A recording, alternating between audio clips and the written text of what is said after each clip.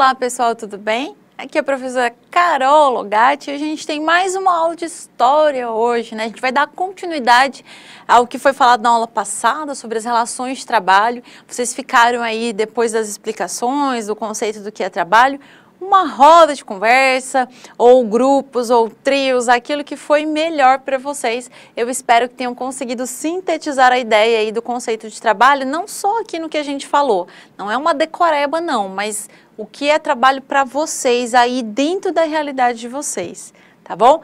A gente vai fazer o que hoje? A gente vai aprofundar um pouquinho nesse conceito de trabalho, aplicando esse conceito num determinado momento histórico, numa determinada cultura ali, que é a cultura da Idade Média, então a gente está falando da Europa, né, num determinado período.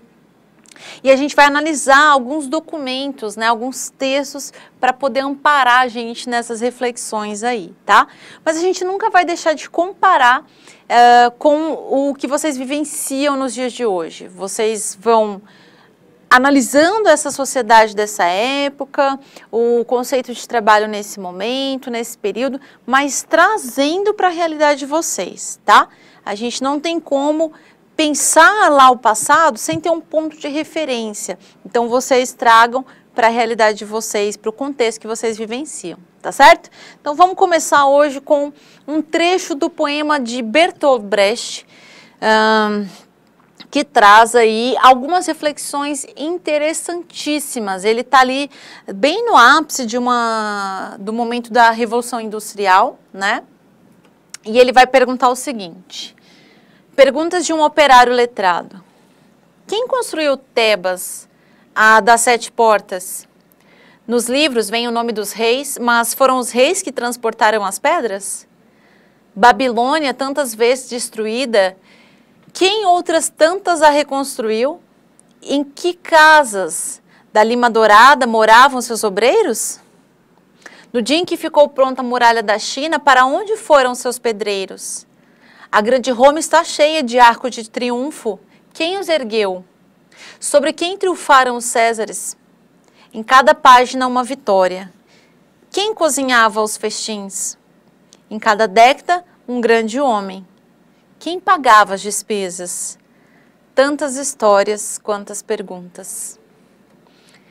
Então, percebam que é um trecho e quem quiser, quem tiver interesse, pode procurar na íntegra né?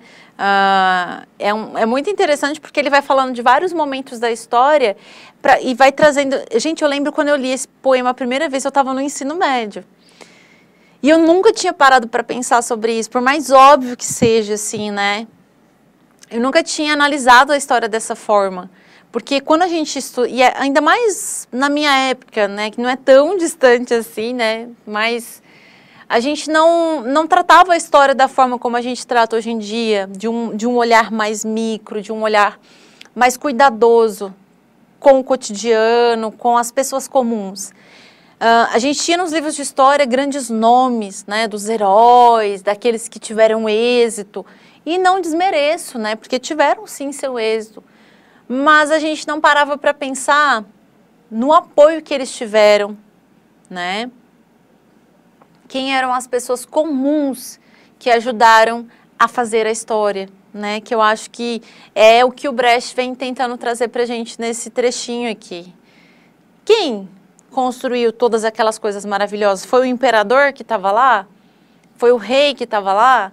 Não. São as pessoas que deram de si, que deram o seu trabalho e muitas vezes uh, não, não só não foram valorizadas, mas foram ali escorraçadas, né? Foram exploradas e tudo mais. Então é essa reflexão que ele quer trazer. Olha só. O poema de Bertolt Brecht, que é do finalzinho do século XIX, já início do século XX, faz questionamentos sobre os anônimos, né? Ou seja, aqueles que não tiveram seus nomes ali postos em evidência, que construíram as diferentes sociedades. Você consegue identificar quais foram esses trabalhadores e a posição social que ocuparam nas sociedades em que viveram? Numa pirâmide social, será que eles estavam no topo, no meio ou estavam embaixo dessa pirâmide, né? Qual a relação entre o poema e o trabalho em diferentes sociedades? Lá na antiguidade, as sociedades pré-colombianas e a sociedade feudal. Como que vocês observam isso? Então, quando a gente fala de relação de trabalho, a gente vai pensar o quê?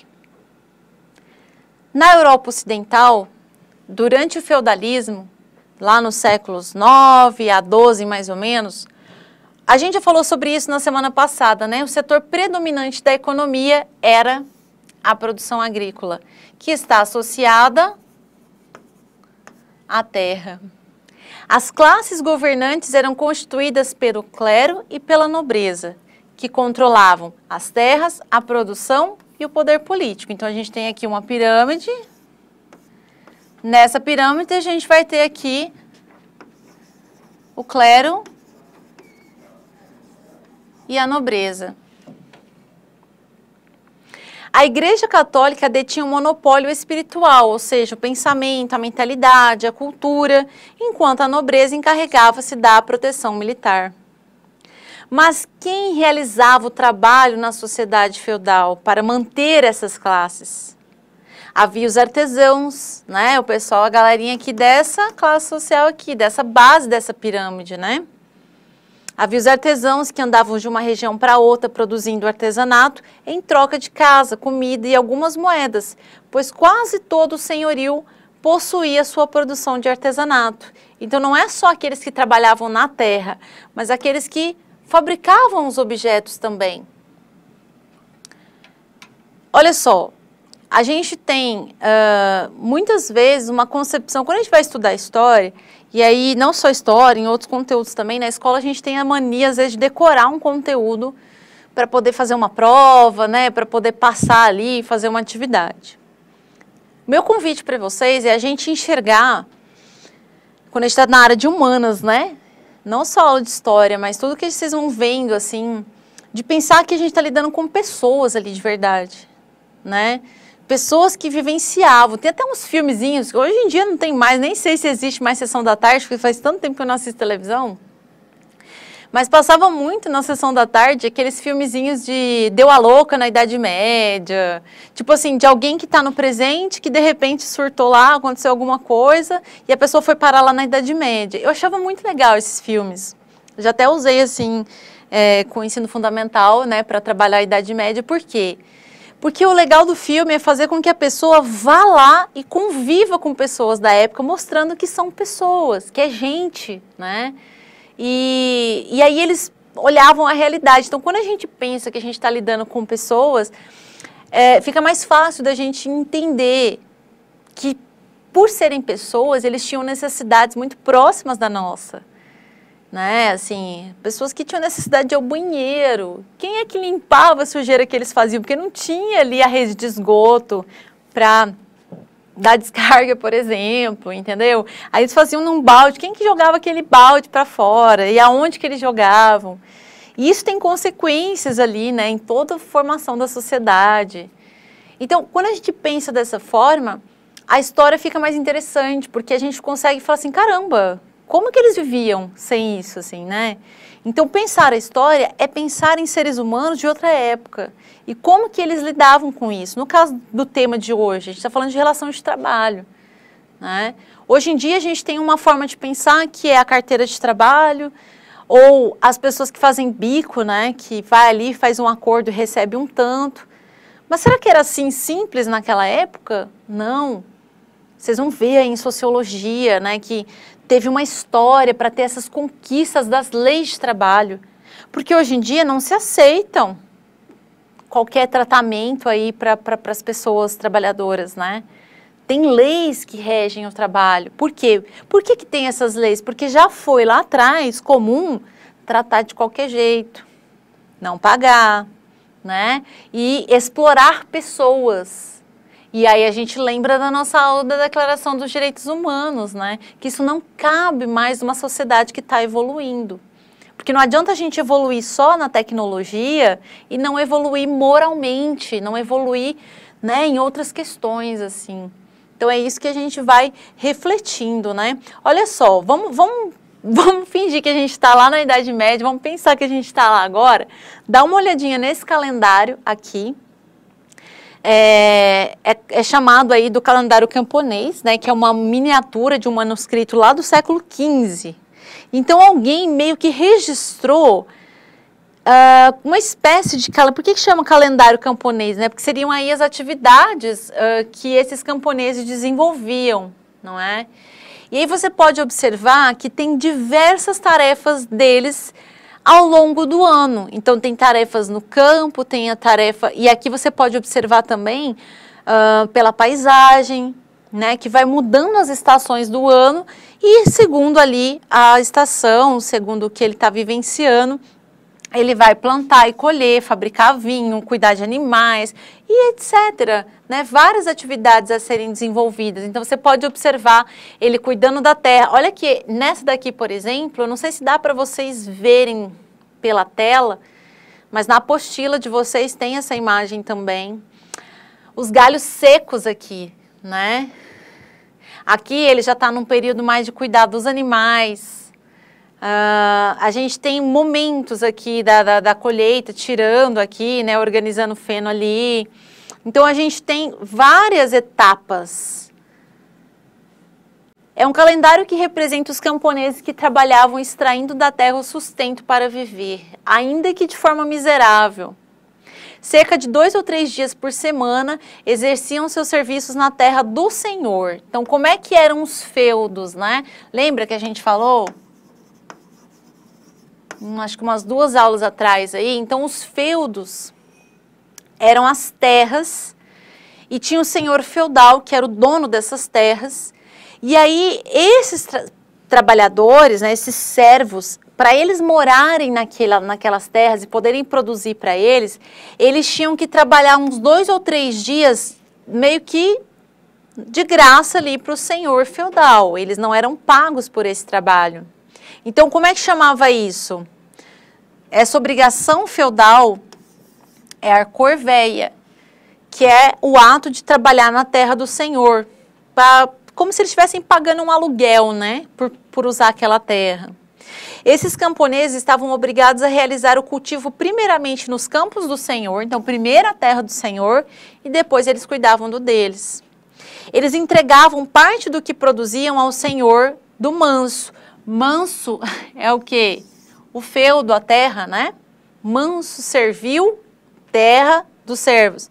Manso senhorial, terra do Senhor.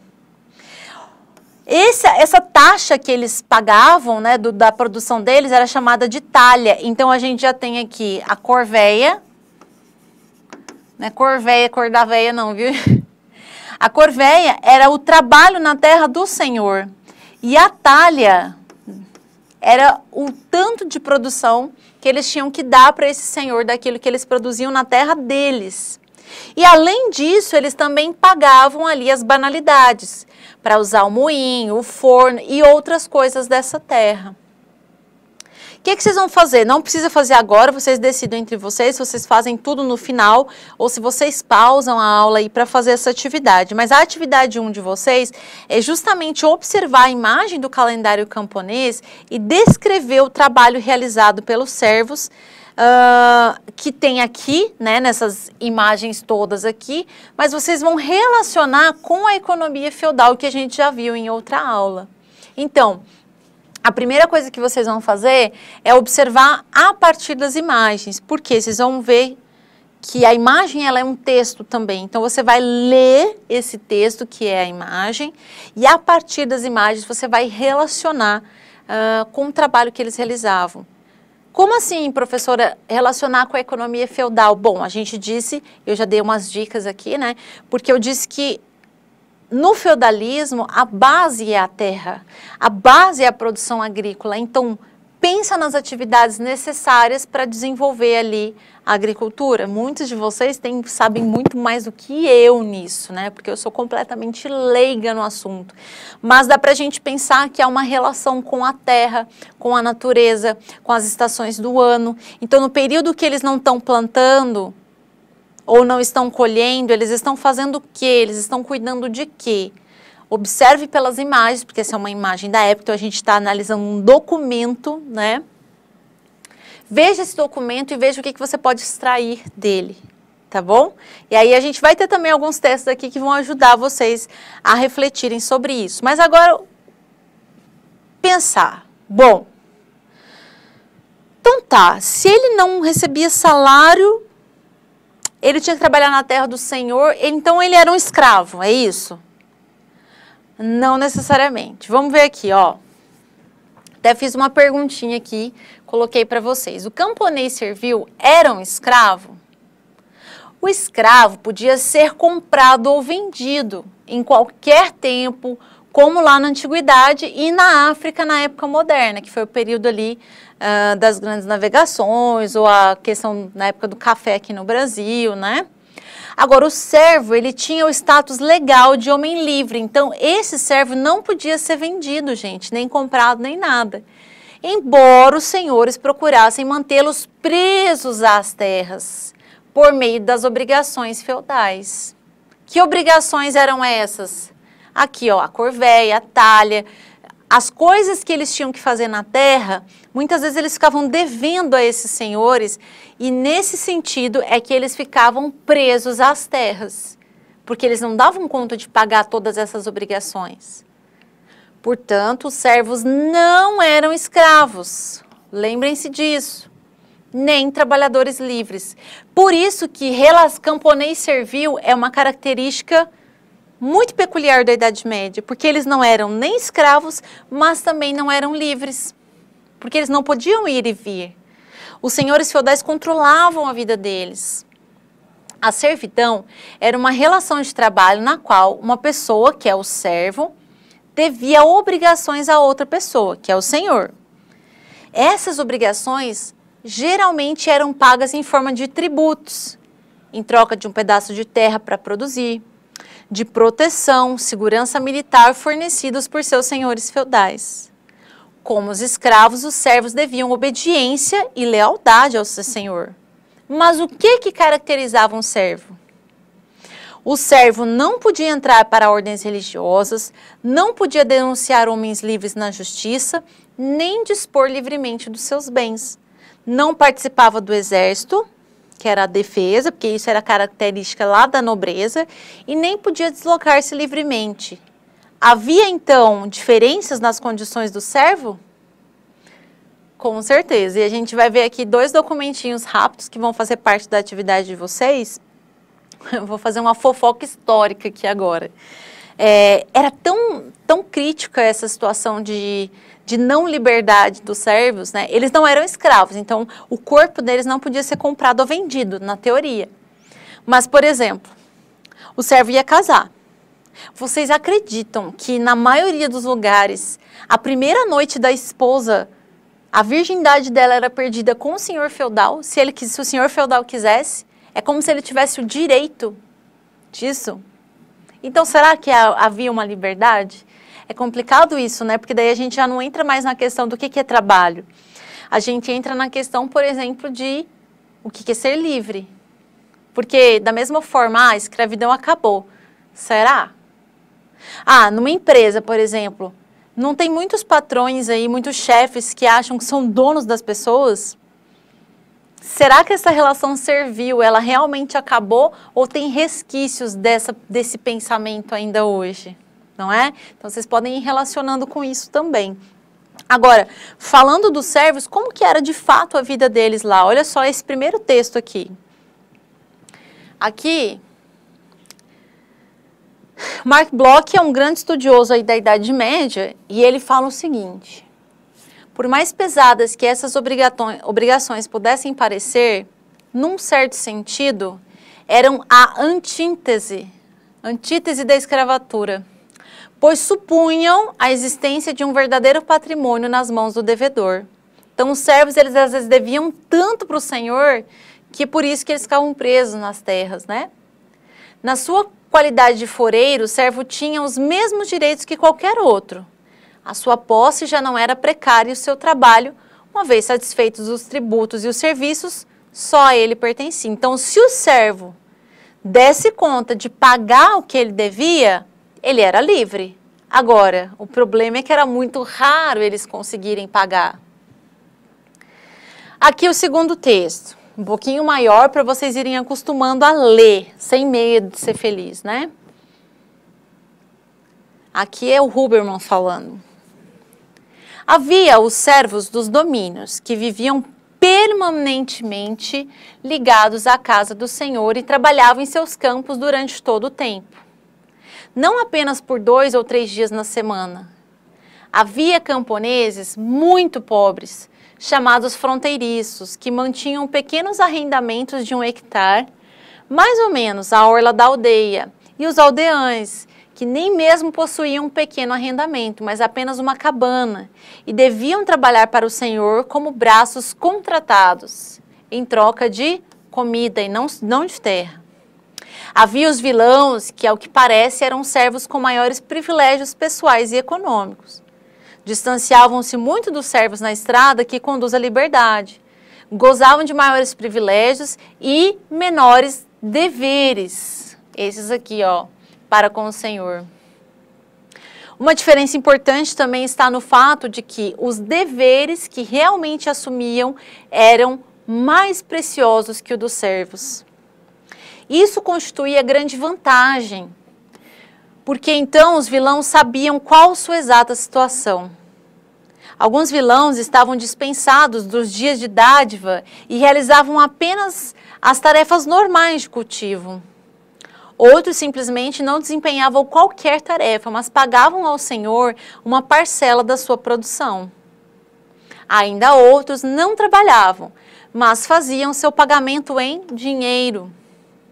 Alguns vilãos eram quase tão abastados, ou seja, né, tão ricos ali, tão bem sucedidos como homens livres, e podiam alugar parte da propriedade do Senhor, além dos seus próprios arrendamentos. Assim, Havia alguns cidadãos que eram proprietários independentes e nunca se viram obrigados às tarefas do cultivo, mas pura e simplesmente pagavam uma taxa a seu senhorio. O que, que a gente está fazendo aqui? O que, que a gente acabou de fazer? Análise de documento histórico. Né? A gente está vendo ali um teórico da história falando sobre como era no período de fato que, que a gente fez? A gente deu um zoom bem, bem aproximado ali de realidades históricas, né? Documentos ali oficiais da história, que com certeza ele analisou para poder escrever isso aqui, é, deveriam ter relatos específicos, né? Como, é, como assim? Uh, cadernos de juízes, muitas vezes da igreja, né? Muitos registros da igreja trazem essas informações de quem era o quê, e por isso que eles conseguem analisar e saber o que acontecia, porque não tinha câmera para gravar, não tinha como fotografar, né? Mas é preciso muito estudo, juntar muitas fontes históricas para chegar à conclusão que ele chegou aqui. E nós estamos fazendo uma análise bibliográfica né, dos documentos.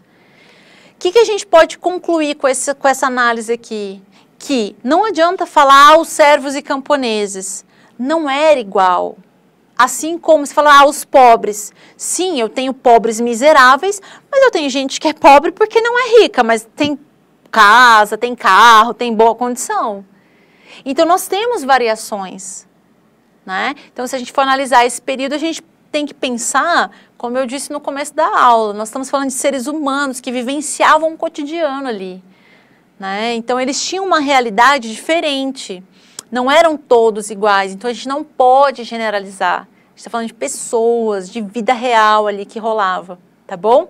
Então, quando a gente analisa, a gente vai entender que, sim, tinham servos que eram quase escravos, porque eles ficavam, eles ficavam tão endividados que o Senhor usava, abusava, né? Usava e abusava desse poder para controlar até o corpo desse servo não permitindo que ele saísse a hora que ele quisesse. Então, tinham-se sim esses abusos.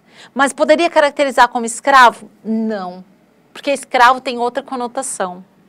Porque aí, por mais abusado que o senhor feudal fosse, ele não podia, por exemplo, comprar e vender de forma legal ali, né? Lógico que rolava isso nas barganhas que se faziam, mas legalmente falando, isso não podia acontecer tá bom? Então a gente não pode considerar que eles eram escravos. Bom, mas então não tinha escravo na sociedade feudal? Porque na, no Império Romano tinha. E na Idade Média, então acabou os escravos? Ai, professora, peraí, é por isso que eu não entendo a história. E aí, de um dia para o outro acabou os escravos? Não. Vamos com calma, vamos analisando de forma gradativa. Não, não acabaram os escravos. Quer ver? Ó, vem aqui comigo para a gente entender aí essa, esse momento. A escravidão reduziu. Isso não significa que ela acabou, é que ela não era a base da sociedade como era lá no Império Romano, na Antiguidade Clássica ela reduziu na Europa Ocidental à medida que aumentava a servidão. Então, é uma coisa, é uma balança que foi se equilibrando, foi aumentando a relação de servidão, foi diminuindo a escravidão, mas não acabou. Na Inglaterra do século XII, os escravos realizavam trabalhos domésticos na França, ao norte do Loire, quase não tinha importância numérica, então eram poucos, mas tinham.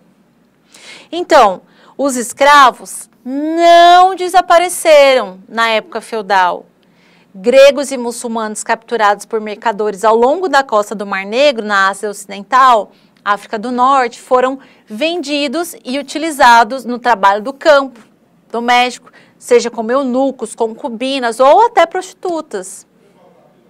A escravidão, ela vai adquirir certa importância na Itália devido à proximidade com os países muçulmanos, o que possibilitou o comércio de escravos. Então, tinha comércio de escravos? Tinha mas não era base, não era relativamente grande como foi em outras épocas, né?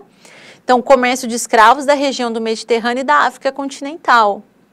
Entretanto, olha só a palavrinha aqui, ó, predominava na sociedade feudal três ordens definidas: clero, nobreza e servos. Esses grupos sociais deveriam conviver em harmonia, desde né, de que cada um desempenhasse ali as suas funções. É a famosa pirâmide feudal, bem definida. O que significa dizer que, nesse período, na Idade Média, de uma forma geral, não havia mobilidade social.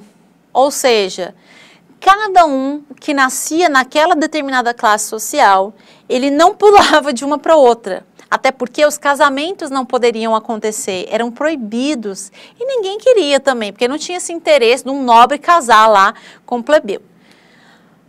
Né? Mas a gente tem as histórias românticas que dão origem à literatura, aos filmes e etc, de que de repente lá, né, uma princesa se apaixona pelo pobretão lá e e aí, briga com a família, foge, Claro que vai acontecer essas histórias, gente, porque nós estamos falando de pessoas, de gente, né, que surta lá e tem as suas vontades próprias. Então, quando a gente está falando de história, não é determinante assim. Que a análise histórica dá para gente ah, uma estatística para mostrar para gente como funcionava, mas claro que tem exceções, claro que tem concessões, claro que tem loucuras, porque nós estamos falando de pessoas tá bom? Vamos finalizando aqui a aula para vocês fazerem atividade e a gente vai ler junto aqui um último documento, uh, já que a gente está falando do clero, né, de como a igreja pensava muito uh, a cultura e a educação na época, né, então os, o clero, nós temos variações, assim como os servos, em outro momento a gente vai falar disso, mas a gente tem o clero ali tendo baixo clero, alto clero, então a gente tem diferenciações também dentro da igreja. Então, cada classe tem uma nobreza. Ah, tem a alta nobreza, que é super, super top das galáxias, e tem a baixa nobreza. Então, assim, tem variações nessa pirâmide, tá? Mas o que não tem é variação de uma base da pirâmide para outra. Não rola isso, tá? Vamos ver o que, que o bispo fala aí em relação aos servos. Olha a visão desse clero uh, em relação aos servos aí. Vamos ler junto. O domínio da fé é uno, mas há um triplo estatuto na ordem. De que ordem que ele está falando? Dessa sociedade. Sociedade feudal. A lei humana impõe duas condições. Olha o que, que ele fala. O nobre e o servo não estão submetidos ao mesmo regime. Isso é um bispo falando, gente, no século XI. Então ele é determinante quando ele vai controlar a mentalidade da época. Os guerreiros são protetores das igrejas. Eles defendem os poderosos e os fracos. protegem todo mundo, inclusive a si próprios. Os servos, por sua vez, têm outra condição. Esta raça de infelizes não tem nada sem sofrimento. Quem poderia reconstituir o esforço dos servos, o curso de sua vida e seus inumeráveis trabalhos? Fornecer a todos alimento e vestimenta. Eis a função do servo. Nenhum homem livre pode viver sem eles. Quando um trabalho se apresenta e é preciso encher a dispensa, o rei e os bispos parecem se colocar sob a dependência de seus servos. O Senhor, e aqui ele já está falando do Senhor, no caso Deus, né? É alimentado pelo seu servo que diz alimentar. E aí ele está comparando. Nossa, ficou feia aqui, hein? Peraí, deixa eu arrumar.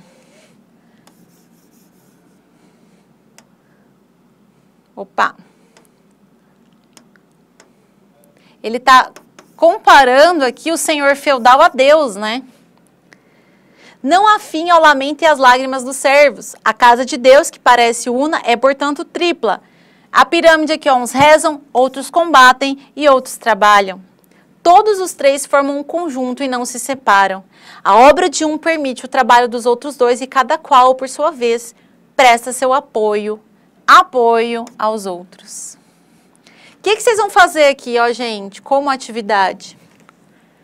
Vocês vão usar esses textos, aqueles dois primeiros e esse documento, para construir um quadro destacando as diferenças entre as categorias dos servos feudais. Depois você vai construir uma narrativa histórica sobre as relações de trabalhos medievais. Então aqui, ó, texto 1 e texto 2 está falando da diferença de servos. Aí você vai extrair aqui, mostrar a diferença entre eles. E esse texto vai te ajudar a fazer uma narrativa histórica. Isso daqui é um exemplo de narrativa histórica que você vai criar para falar das relações de trabalho na sociedade medieval. Tá bom? Caracterize e compare o trabalho nas sociedades escravista e feudal. Você pode fazer isso tudo junto, tá, gente? Isso aqui é só forma de vocês pensarem. Analise como as relações de trabalho nessas sociedades fundamentam diferenças socioeconômicas, inclusive com a justificativa que o próprio bispo dá. Tá certo? Então, assim, a atividade é usar os textos que a gente leu junto, por isso que eu fui falando mais tranquila, para vocês irem entendendo. E aí vocês vão sintetizar isso. Pode ser individual, pode ser em dupla, só não pode ser grupo muito grande, porque exige aí um momentinho de pensar e colocar em prática. E não deixem de associar as próprias vivências de vocês, a realidade de vocês.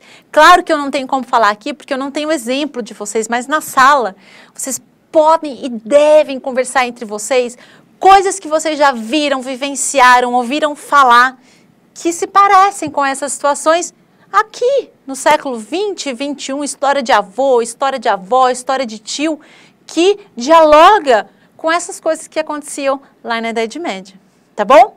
Então, boa atividade, a gente se vê na próxima aula. Tchau, tchau!